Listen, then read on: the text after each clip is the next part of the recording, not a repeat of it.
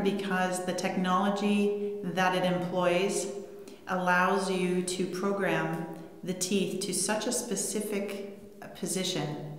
It allows the doctor to consider all things in finishing a case in terms of what is required for the patient, how the teeth should fit, how they should look, where those teeth should be in the patient's face. And when we do all those things at the beginning, then we can get to the end quicker and it's a more satisfying experience for both the doctor and the patient. Insignia lets me sleep at night. I don't worry anymore if I can fix something. I know I can. It gives me confidence. I, I feel so reliable for my patients to provide that service to them. I saw a Damon speaker at the AO uh, and I thought to myself, I want to do that. The cases that they showed and the results uh, where I knew that I was not happy with so many treatment finishes that I was getting, uh, and I knew I could do better.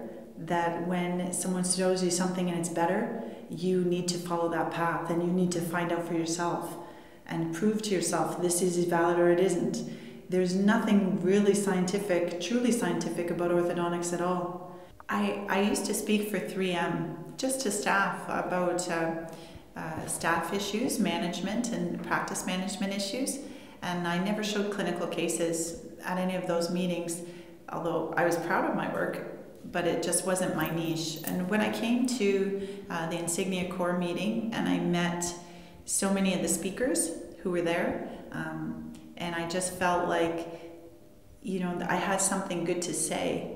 Uh, to explain because I felt like when I started, which is almost five years ago, not a lot of people were doing it. People didn't really understand it, and the more I used it and the more I learned about it, the more passionate I became that you know we really needed teachers to get the doctors up to speed. If I could share what I knew in my learning curve to make someone else's learning curve better, and shorter, uh, that would be great. And so that just inspired me to sort of tackle, you know, teaching from a different standpoint. Oh my goodness, this is one of the most exciting times to be an orthodontist. I, I would think that when straight wire appliance came out with the evolution of bonding, that if somebody who fit their bands and pinched the bands and placed them on every single tooth and painfully for the patient, and bent heavy wires with heavy forces and hurt the teeth and hurt the patient, continued what they were doing and ignored what was happening, that they that would be similar to the leap between just going along with your practice with conventional uh, traditional braces and ignoring what is happening with Damon and Insignia.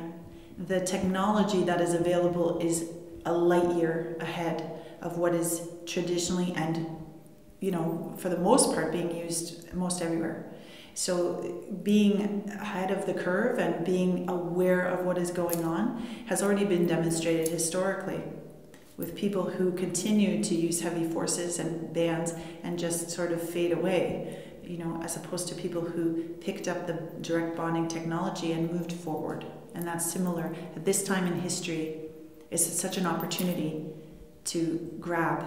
It's very exciting. This forum, it was such an honor to be asked to speak here.